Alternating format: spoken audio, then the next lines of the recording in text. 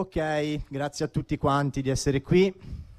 per questo dibattito, eh, grazie soprattutto agli ospiti che sono venuti a trovarci, Riccardo di eh, Docs, adesso presenteremo questo progetto, ma in realtà no, perché in realtà è anche Riccardo di Maceronò, Riccardo di Deriva Prodi e tantissime cose. Eh, Emanuele di eh, Macao ci parlerà di alcuni progetti e Marco di, del Sale Docs. Io devo, voglio essere veramente brevissimo perché non voglio occupare questo spazio, ma anzi voglio dare spazio a una discussione, eh, una discussione un po' più seria. Ehm, soltanto due parole di presentazione. Ecco, noi vogliamo parlare, stiamo cominciando a discutere già da un po' di tempo all'interno del laboratorio occupato Morion attraverso la, ehm, attraverso la libreria Calibro 9, questa questa libreria autogestita che già da diversi anni sta producendo un certo tipo di dibattito, oltre che a lavorare effettivamente sul, sul tema dell'editoria e quindi la distribuzione dei libri eh, in città e non solo. Ehm, il tema principale è quello del, dell'indipendenza culturale, è un tema molto vasto, si potrebbe affrontare questo tema da più punti di vista differenti. Eh, sicuramente è un tema molto attuale, perché io penso soltanto ai movimenti studenteschi che hanno attraversato eh, questo paese da, da, ormai tanto tempo, dal movimento dell'Onda, uno, dei, uno, degli ultimi più grandi, agli ultimi movimenti, a, a, al, diciamo, alla frenesia e il, il, il, fermento che si sta cominciando a palpare nelle, nel mondo universitario, scolastico, in previsione di una futura legge ehm, scolastica sulla scuola e una riforma universitaria che già sta vedendo i primi blocchi, le prime resistenze da parte di chi? Da parte di studenti, di giovani, di professori, di comunque di un mondo, eh, di una società che lavora nella cultura, perché anche la scuola è eh, cultura o comunque è un mezzo di trasmissione culturale. Eh, penso alle esperienze bellissime dei, dei, teatri occupati, anche quello è stato un tentativo eh, molto forte, e seguitissimo eh, in giro per l'Italia, di provare a organizzare il dissenso e resistere a un certo tipo di modello culturale imposto, anche partendo da, un, da una discussione eh, sul tema del lavoro, dei, di, quindi di chi lavora, e lavorava e continua a lavorare all'interno del mondo culturale, quindi si parlava, si continua a parlare non solo di produzione immateriale, ma anche di produzione materiale di operatori che lavorano all'interno del mondo della cultura. Eh, penso per esempio a, eh, adesso mi dispiace, non è potuto venire cause personali, però eh, avevamo ospite anche mh, mm, Luigi Jacobelli, direttore di Odei, dell'Osservatorio degli Editori Indipendenti, e anche questo è stato un tentativo ben riuscito di eh, cooperare, di mettere insieme degli editori appunto che stavano subendo e continuano a subire un certo un, una crisi non solo culturale, ma anche economica, una, una crisi vera, perché è, è, imprescindibile secondo me questo, questo binomio. Cioè la cultura non può essere intesa al di fuori di quello che è anche la vita di tutti i giorni, che purtroppo o per fortuna è anche economia e quindi è delle leggi del mercato, perché se na nasce Odei, se è, è, nato Odei o comunque se i tentativi di resistere a un certo tipo di eh, monopolizzazione della cultura esistono, sono, sono, in essere, è perché effettivamente esistono dei problemi reali e questi sono tutti tentativi, tutte pratiche di resistere a questi modelli. E ora abbiamo, abbiamo degli ospiti che ci possono dare un esempio e magari ehm, affrontare la discussione più nel particolare. Io volevo soltanto, mi ero preparato, cioè preparato no, però volevo leggere un pezzettino del manifesto Dei, che è scritto molto bene, sicuramente dirà cose più intelligenti di quante le abbia dette io adesso perché affronta un tema, un tema particolare. Allora, brevissimo, salto tantissimi passaggi. Allora, siamo in un eh, capitolo 1, titolo Dove siamo? Manifesto Odei. Siamo in un paese che considera la cultura un bene improduttivo. Con la cultura non si mangia, ha detto un ministro della Repubblica non molto tempo fa.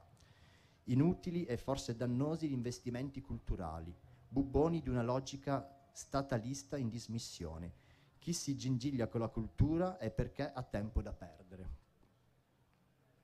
Chi sono gli editori, gli operatori culturali che lavorano e cercano di difendersi da, questo, da questa situazione? Noi lavoriamo tra le macerie di una scuola pubblica stremata, lavoriamo con università che non hanno più risorse per la ricerca, lavoriamo ricevendo centinaia di curricula all'anno, di giovani e non giovani, laureati, dottorati, masterizzati, che si propongono come lettori, traduttori, collaboratori, eccetera. Lavoriamo lungo un'interfaccia, una lingua, delle idee, delle strutture di pensiero, delle immagini e relativi autori, da un lato e della carta dell'inchiostro dei punti, dei punti vendita, dei magazzini, dei camion che circolano, degli alberi in meno dall'altro. Lavoriamo tra l'immateriale e il materiale, traduciamo il primo nel secondo. Il nostro lavoro è un osservatorio del, sulla conoscenza, sulla grammatica italiana, sull'ibridazione linguistica, sul presente nel quale viviamo e col nostro lavoro nel cambiare un aggettivo, nel correggere un refuso, o lasciarlo persistere, nel preferire un congiuntivo o un'altra punteggiatura, preferiamo una posizione. Prendiamo una posizione, scusate, e da questa posizione guardiamo le macerie in cui è fatta la cultura oggi nel nostro paese. Quindi prendere una posizione. Cosa vuol dire prendere una posizione? E soprattutto come poi una volta che si è preso posizione si organizzano queste prese di posizione? Dove si vuole arrivare prima e dopo aver preso una posizione? Questa è la domanda che voglio fare al nostro primo ospite, Riccardo. Grazie.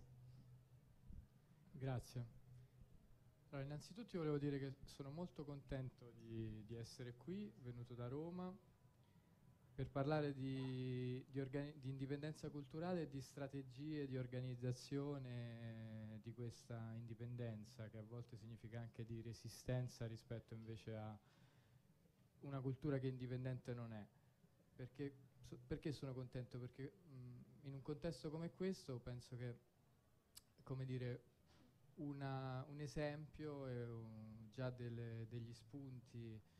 di realizzazione possibile sono, sono, evidenti, sono sotto gli occhi di tutti. Una cosa costruita così, questo imponente festival auto-organizzato completamente, lascia ben sperare rispetto alla scommessa di cui stiamo parlando, che è appunto quella di realizzare una rete e un'organizzazione di progetti eh, che, che, diano visibilità ma anche sostanza concreta poi a, alle produzioni culturali indipendenti, ai lavoratori eh, della cultura indipendente, agli operatori culturali che non si vogliono piegare uh, rispetto alla, al mainstream, diciamo così, a questo pensiero unico che ci viene proposto attraverso le grandi infrastrutture um, del capitale culturale organizzato. L'esperienza insomma, di cui faccio parte, che è la, la, la cooperativa Docs, partiva proprio da, questo, da questa idea, cioè alla luce sulla scorta di, di molte esperienze eh, finora, finora eh, fatte con eh, alternanti e più o meno importanti riuscite o sconfitte in alcuni casi dai teatri occupati ai festival all'auto-organizzazione in tutte le sue varie forme. Eh, si è data l'ipotesi, si è deciso di costruire, di sostanziare l'ipotesi di costruire una rete di queste eh, di queste esperienze di auto-organizzazione eh, e di progettualità culturale indipendente rispetto al, al, mercato, al mercato, della cultura italiano. E, e, facendo questo siamo entrati in contatto con tantissime esperienze insomma, riuscite, di successo molto belle che insomma, in qualche modo davano anche, eh, oltre a lasciare ben sperare, facevano, eh, ci facevano pensare che serviva ancora di più mettere in rete tutto questo, perché le forze vive che, che si, si, percepiscono, che noi vediamo continuamente all'opera nella società, le forze vive eh, e le intelligenze vive e vitali di questo paese non meritavano di essere sminuite, insomma, come attualmente rischiano poi ogni giorno di essere dal dall'organizzazione della cultura che sia istituzionale o, o mercantilistica, diciamo così, che c'è in questo paese. Quindi è chiaro che questo tipo di organizzazione che noi abbiamo tentato di fare a partire da un discorso che nasce da un, un'esperienza nata in seno all'editoria, quindi un discorso che eh, che ha i suoi punti di riferimento dentro il mercato editoriale, che poi è il mercato dire, della rappresentazione dello stato della cultura eh, di un paese sostanzialmente, ma che insomma intende estendersi. No? Ehm, quindi questo, questo progetto che noi abbiamo messo in piedi ha portato per il momento a, solo, a nemmeno un anno in realtà di attività della cooperativa, insomma ad associare oltre 100 soggettività diverse, tra cui alcune collettive, eh, tra cui per esempio alcune qui rappresentate eh, que a questo tavolo, e a costruire insieme a loro dei, dei progetti indipendenti ma di eh, diffusione e di, e, di, e di produzione di cultura sotto altri come dire, auspici e sotto altre condizioni, che sono le condizioni del, di un'idea che è quella del cooperativismo, che potremmo anche declinare in altri termini nella forma del mutualismo, che è una delle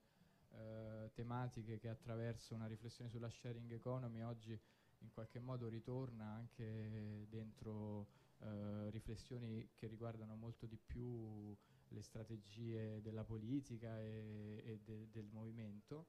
Um, e una delle quali di queste esperienze che abbiamo, che abbiamo organizzato e che hanno avuto insomma, riscontrato il successo che secondo me insomma, si meritavano è stata per esempio l'organizzazione di una fiera dell'editoria indipendente eh, a Milano completamente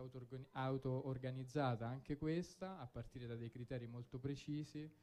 cioè dalla riunione di tutti quegli editori che non facessero parte dei cinque maggiori grandi gruppi editoriali che sono presenti in Italia, che sono dei gruppi eh, a tendenza monopolistica, diciamo così, che possiedono oggi allo stato attuale eh, diverse case editrici, quindi diversi marchi editoriali, ma contemporaneamente anche tutta una serie di librerie, quindi catene di librerie e anche il, quello che c'è in mezzo, cioè il logistico, quindi i meccanismi di distribuzione, le società che si occupano della distribuzione. Quindi eh, l'editoria probabilmente è uno dei, dei terreni eh, che meglio spiega quale può essere poi, eh, volendo fare un'analisi un po' più complessiva, anche se per, anche per il tempo che abbiamo e per insomma, eh, la tipologia di, di, de, della tavola non può essere chiaramente di questa tavola rotonda, non può essere chiaramente eh, totale, però l'analisi è quella di un'avanzata del neoliberismo che dal punto di vista culturale si, pro, si, si diciamo, ha la sua declinazione in una chiusura sostanzialmente delle possibilità di produzione eh, di discorso eh, una chiusura che si schiaccia completamente sulla produzione di discorso maggioritario e che ricerca la riproduzione della maggioranza e di opinioni quindi già sentite che si autoconfermano nella loro, nella loro, nel loro essere carattere maggioritario proprio per il fatto di essere già state proposte. Quindi eh, questo nel, nella cultura è un rischio che chiaramente produce, produrrebbe insomma, il macero di tutte le intelligenze collettive, le forze vive che dicevo prima che sono al lavoro e che noi stiamo cercando invece di far emergere attraverso vari, vari, vari piani e progetti di lavoro, ma soprattutto attraverso la messa in rete di esperienze che, ripeto, nei vari ambiti eh, del, dello che, che, gli sono specifici, però eh, dimostrano la possibilità di organizzare secondo eh, diverse condizioni e con diversi criteri un lavoro di, di, produzione di discorso, quindi un lavoro di, di, di produzione culturale che, mh, mm, che, rischia davvero di avere successo e di essere molto critico rispetto allo stato attuale delle, delle, delle cose e lo stato attuale della cultura. Quindi io per ora mi fermo qua poi con la riserva di magari poi discutere.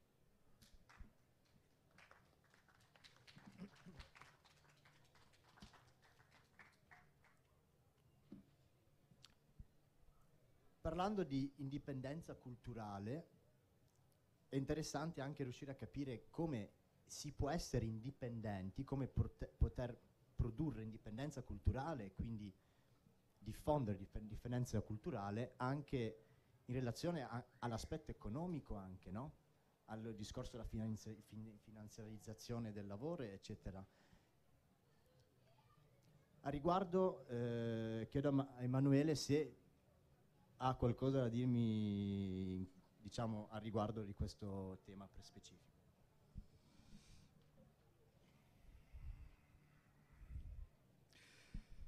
Volevo cominciare a spiegarvi un po' quello che è successo a Macao uh, negli ultimi tre anni, um, dove sostanzialmente dei uh, lavoratori del, dell'arte, della cultura e di tutto un po' quello che è il, um, anche uh, la filiera che va a ricomporre un po' quello che di solito si chiama industria creativa, perché a Milano noi siamo in una condizione in cui eh, il mondo della cultura anche è continuamente permeato eh, in modo interdisciplinare da eh, sicuramente l'industria dell'editoria, ma eh, anche tutto il comparto eh, dell'industria del fashion, del design, e, um, dei media. Eh, e molto spesso quello che noi chiamiamo eh, lavoratore nel campo della, della cultura eh, in questa città è eh, continuamente a disposizione di tutte queste filiere no? perché magari se sei anche un, un artista visivo molto spesso sei eh, in un contesto dove la, la, vera filiera economica è magari del design o del fashion o vai a fare il montatore per uh, una sfilata o poi vai a allestire il, uh, lo spazio di, uh, del salone del mobile eccetera eccetera. Quindi questi, questi, lavoratori che sono eh, andati a comporre Macao hanno cominciato a fare eh, dei progetti ehm, dove sostanzialmente si è in, innescata una sorta di eh, condivisione dei mezzi di produzione, condivisione anche di quello che uno sa fare. Um, e nel momento in cui questi progetti hanno anche creato economie, uh, mutualismo fa i progetti. Cioè, uh, a Macao, per esempio, alcuni progetti che fanno molto cassa, certe volte mettono a disposizione credito eh, per chi magari commercialmente non è così fortunato, ma magari è, è, um, è, è anche più interessante eh, come progetto di ricerca, eccetera, eccetera. Um, questo per dire che uh, il meccanismo di... Um, di, di mutualismo e di cooperazione anche informale, eh, in Macao è stato, molto, è stato molto centrale fin dall'inizio e tuttora è anche quello su cui eh, ci stiamo un po' più spaccando la testa. Cioè, al di là del dover gestire eh, uno spazio eh, insieme, al di là di fornire come spazio anche eh, progetti all'esterno o uh, condurre dei progetti di ricerca dall'interno, uh, qual è il modello su cui si può uh, um, consolidare no? una forma di auto-organizzazione che in qualche modo declina il tema dell'indipendenza? Perché o stando insieme, al di là di, ehm, di volersi bene o volersi male, eh, si riesce anche a innescare una forma di auto-organizzazione che ti emancipa dal punto di vista proprio materiale, ehm, dai, ehm, eh, dal modo in cui sei abituato a lavorare o a riprodurti o a gestire il tuo tempo libero eh, nei, eh, nelle tradizionali filiere eh, ehm, produttive oppure rimane tutto un po', come dire, eh, eh, in un limbo, no? Allora, una delle cose che ci siamo posti a un certo punto e che è anche il nostro, anche il nostro cavillo tuttora è capire come si fa a dare una forma a questo tipo di auto-organizzazione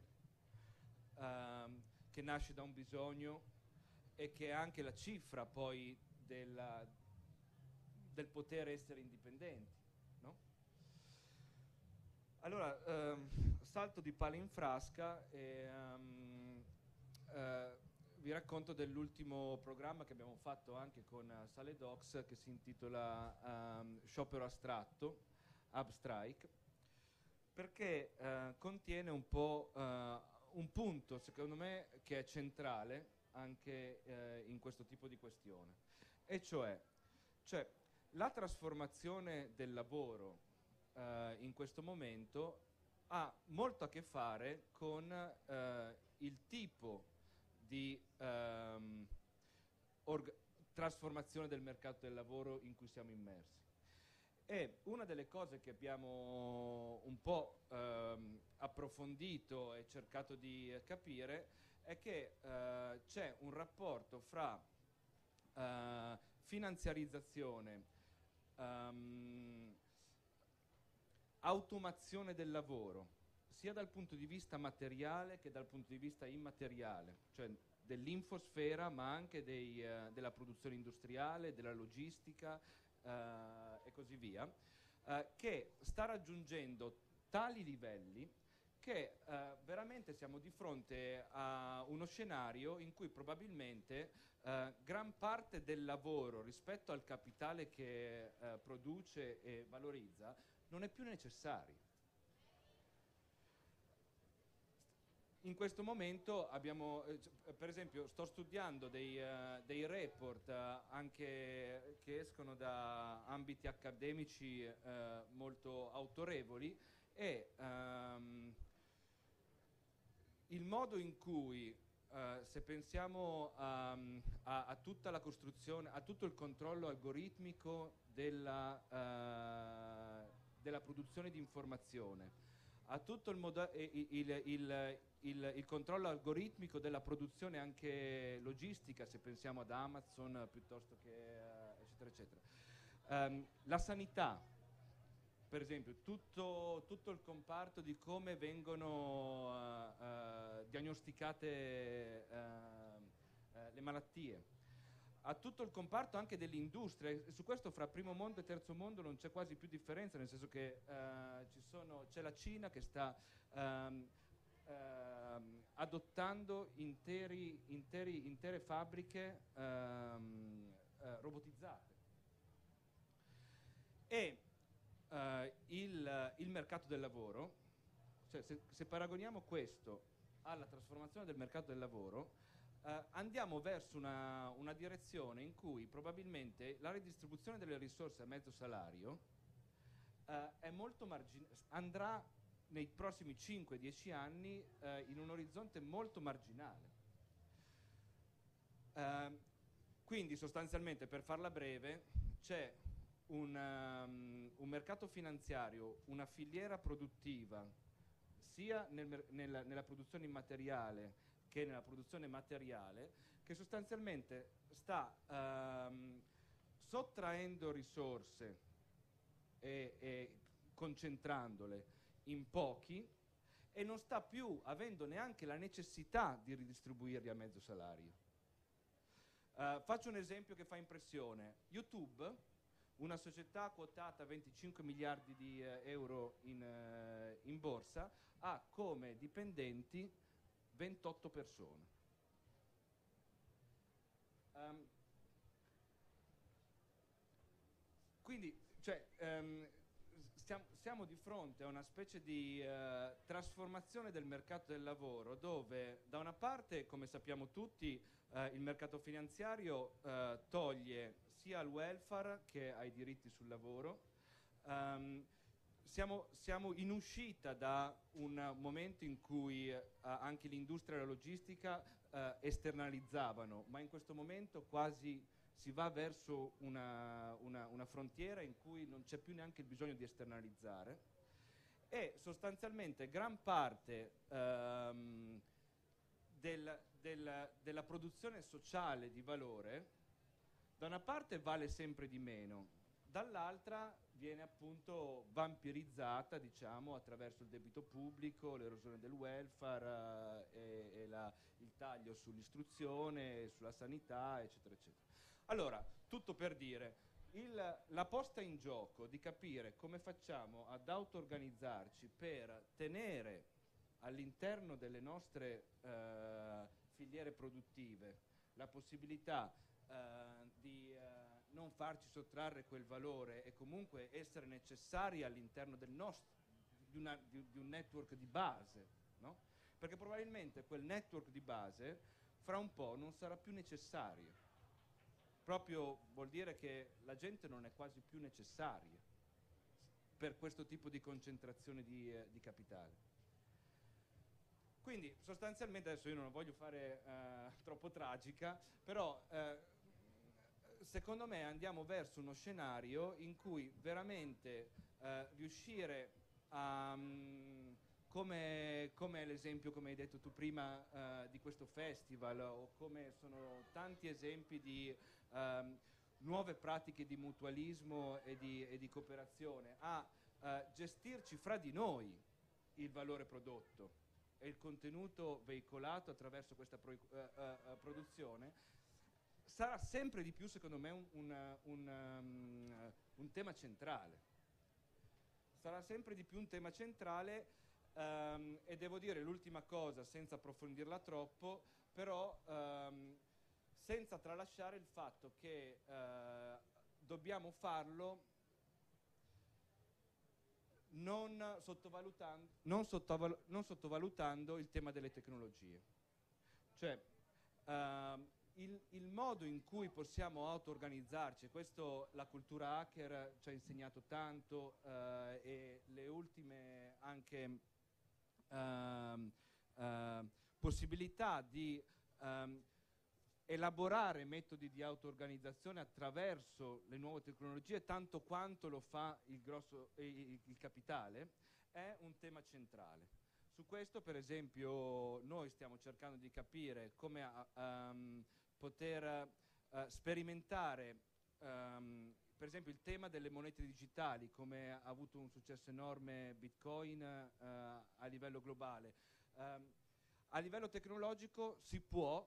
gestire uh, una tecnologia peer-to-peer dove uh, in qualche modo governiamo anche uh, l'automazione della moneta,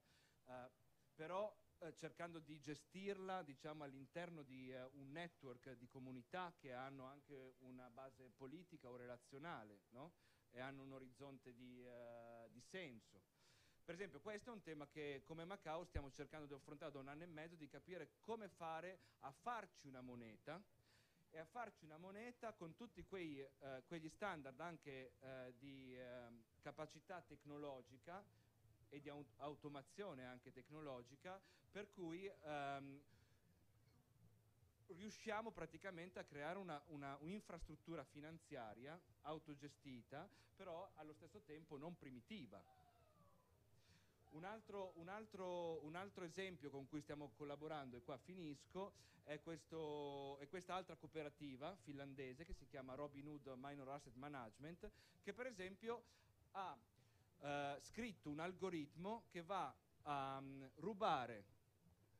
in modo mimetico nel mercato finanziario, copiando come si comportano i massimi speculatori nel mercato finanziario, ha un rendimento molto alto attraverso una tecnologia molto raffinata, un algoritmo molto raffinato, draga soldi dal mercato finanziario e ha come progetto cooperativo il fatto con quei soldi di finanziarci solo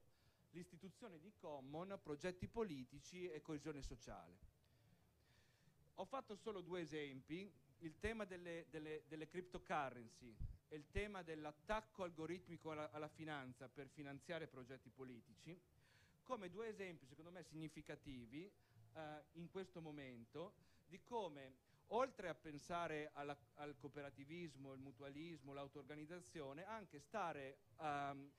um, alla sfida di come dall'altra parte il modello capitalista adesso sta sottraendo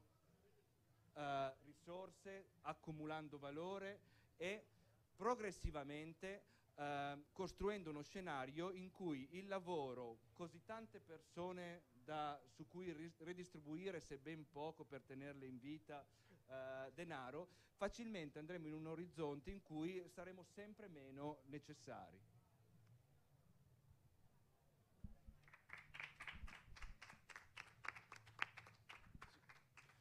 No, mi sembra che eh,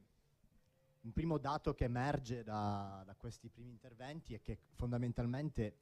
cioè di fronte a una situazione di questo tipo, in cui poteri forti, soprattutto economici, rischiano sempre di annientare quello che in editoria viene chiamata la bibliodiversità, ma che comunque è la, è la diversità di per sé, che poi è il nucleo fondante dell'essere indipendente, quindi di essere altro, tutti questi, questi poteri forti, diciamo, mettono in atto questi tentativi di annientamento di, per cercare di instaurare un potere unico del sapere e la risposta da più parti è sempre quella della cooperazione, cioè di cercare di unire le diverse realtà, le diverse istanze, le lotte per cercare un, un, una rete, quindi un dialogo. E qui la base fondame fondamentale dell'essere indipendenti. Si è indipendenti quando si dialoga con gli altri, quando si ha la possibilità di parlare con gli altri. Quindi in realtà è, è, è un po' un paradosso. Indipendenti lo sei solo se tutti quanti gli altri sono indipendenti e se c'è comunicazione fra gli indipendenti. Nel momento in cui un potere forte, in un modo o in un altro, distrugge indipendenza anche individuale, soggettiva, che poi è sempre comunque collettiva, allora lì avviene l'omologazione pratica, materiale ma anche immateriale. Il Sale ha lavorato tantissimo sul tema della cultura, sul tema del lavoro, anche con progetti molto interessanti, penso soltanto a Open. Che cos'era Open se no un tentativo di coinvolgere una, pluri una pluralità, un più gente possibile all'intorno di temi particolari che parlavano di produzione culturale indipendente. Ti lascio a te.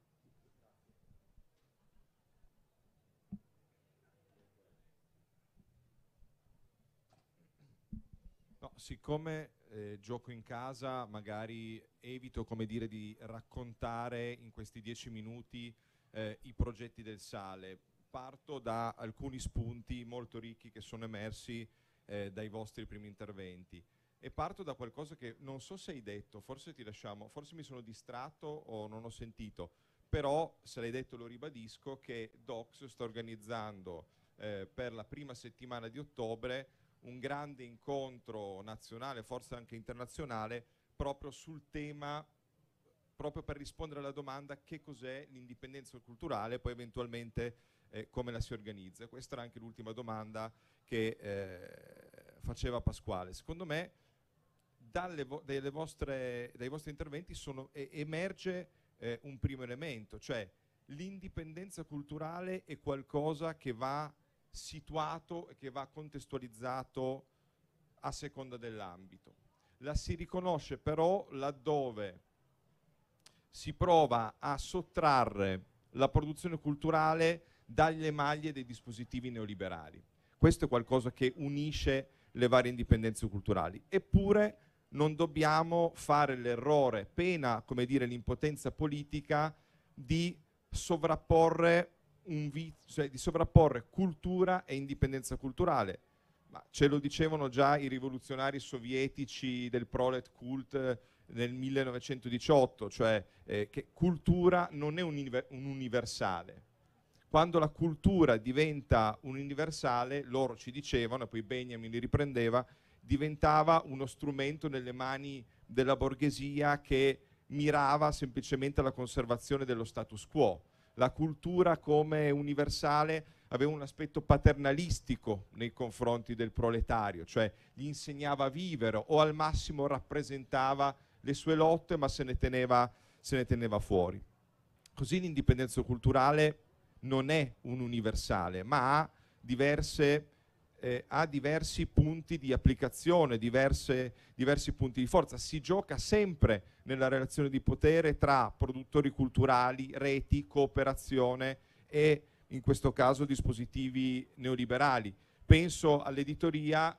e mi viene in mente rispetto a quello che dicevi che indipendenza culturale nell'ambito dell'editoria significa sia a livello nazionale ma anche a livello globale lotta contro monopoli, eh, in Italia ci sono cinque, eh, i cinque gruppi editoriali che lavorano in monopolio e Docs funziona come una risposta eh, a questo tentativo di soffocare sostanzialmente il mercato e poi i contenuti della produzione culturale, cioè non è solo una questione di distribuzione. A livello globale c'è il caso di Amazon che è il player online per eccellenza ma che anche eh, ha questa potenza di organizzare la logistica di cui parlava Emanuele, cioè questo internet delle cose, come è stato definito anche Amazon eh, talune volte. Quindi questo nell'editoria, ma vediamo come addirittura Emanuele, Macao e queste altre esperienze, eh, tra cui Robin Hood, eccetera, assumono addirittura la speculazione finanziaria come terreno da riappropriare in nome anche dell'indipendenza culturale, in nome, come dire, del comune, in nome di, una, eh, di un potenziamento, di un rafforzamento dei commons vari, ma anche appunto in nome e a vantaggio delle varie indipendenze culturali. Eh, Emanuela descriveva poi lo stato attuale di un,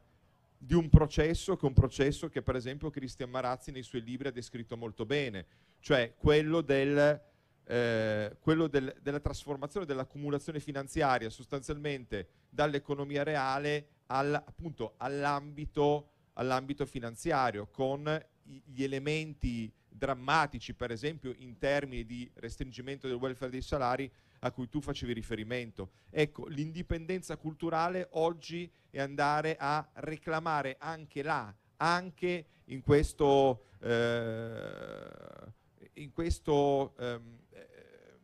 ambito algoritmico e eh, immateriale della finanza e della andare, finanziarizzazione andare a reclamare quote. Eh, quindi io credo che questo sia eh, un primo aspetto veramente importante. Però non possiamo neanche fermarci qua e chiudo. Cioè non possiamo fermarci e dire ok, l'indipendenza culturale non è un universale, è situata, e sono percorsi di lotta che ovviamente, come dire, in, un, in un'epoca di, eh, di moltitudine non possono che essere percorsi di lotta differenti ma che si intrecciano, non possono essere che percorsi di lotta che non hanno più come riferimento un soggetto storico definito come il proletariato o una classe che eh, si trova a lavorare solo nelle fabbriche per tutti i motivi che, che diceva Emanuele, ma si tratta ovviamente di pratiche multitudinarie, quindi di pratiche diverse. Però lo step che noi abbiamo politicamente bisogno di fare, ne abbiamo discusso brevemente anche a Venezia quando Riccardo si è venuto eh, al Morion, è quello di riuscire a trasformare queste pratiche di indipendenze culturali da eh, tattiche individuali di sopravvivenza di fronte a un mercato sempre più difficile e sempre più legato a una questione monopolistica, eh, con delle condizioni di lavoro sempre più precarizzate e dequalificate, da questo, da tattiche individuali a una strategia politica che sappia in qualche modo mutare le condizioni attuali della produzione. E questo che eh, come in un ambito più generalmente, più, anche in ambito politico più generale, questo è il tema. Cioè come passare da tattiche individuali di sopravvivenza nella crisi a strategia politica di rete. Eh, non è semplice, eh, ci sono state appunto delle, delle emergenze, come dire, delle, delle eccedenze che hanno eh, fatto intravedere percorsi possibili, che hanno messo in atto percorsi possibili. Pasquale citava l'Onda, l'Onda è uno di quelli, i movimenti studenteschi sono ciclicamente dei movimenti che mettono in pratica l'indipendenza culturale, ripeto, non come tattica individuale, ma come strategia politica in cui intravediamo, come dire, una, un, una classe eh, in rivolta. L'altri, gli altri sono stati eh, i teatri occupati. Ne parlo al passato, in qualche modo, con, con rammarico, sapendo che quella è stata e ciò che rimane eh, di quell'esperienza sono ancora eh, vettori di mobilitazione, però anche quella è un'esperienza che perlomeno in questo momento, probabilmente più per dei limiti interni che per altro, ha, registra una battuta d'arresto. Quindi io chiudo e dico benvengano iniziative come quella di Docs che eh, possono essere catalizzatori di, nuova, di, nuove, di nuove indipendenze culturali per trovarsi e per provare a costruire un discorso che sia anche oltre i pur interessanti ambiti di rete che si aprono sui temi, per esempio, dell'innovazione culturale o dell'innovazione sociale, che sono importanti dal punto di vista di raccolta di contenuti, eccetera, ma a cui probabilmente non interessa, dire, un contrasto eh, radicale determinato alle retoriche e ai dispositivi neoliberali.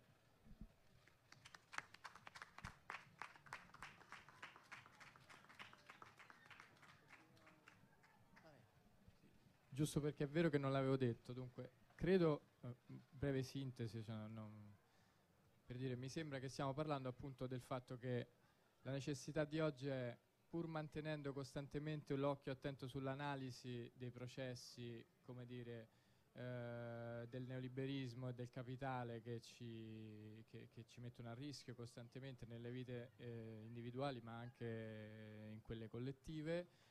però cercare di organizzare, di sostanziare delle pratiche che contengano al loro interno queste stesse analisi, questa stessa critica di questo sistema, ma che nello stesso tempo appunto non siano soltanto questo, ma siano anche delle forme di, che rappresentino già un'alternativa, una pratica alternativa. Per, per, fare questo secondo me bisogna iniziare a sostanziare questo concetto qui. Secondo me la scommessa da fare oggi, secondo me, secondo noi, almeno Docs l'idea era quella, è di sostanziare questo concetto di, di indipendenza culturale. Quindi l'idea del seminario, io direi che questi appuntamenti insomma, che abbiamo cominciato a fare e che sono molto interessanti dovrebbero proseguire. Una delle tappe potrebbe essere questo, questo, seminario, convegno nazionale di due giorni a Roma, in cui cercare di sostanziare questo tema, ma arrivare, e qua la, insomma, la dico grossa ma non così tanto, a costruire, a scrivere un nuovo manifesto dell'indipendenza culturale che ci permetta pure, così come abbiamo citato prima, un manifesto dell'editoria indipendente, eh, riuscire a eh, sostanziare questo discorso sotto i suoi vari aspetti, ma come una pratica, come la possibilità di, di aprire scenari differenti, soltanto questo. Grazie.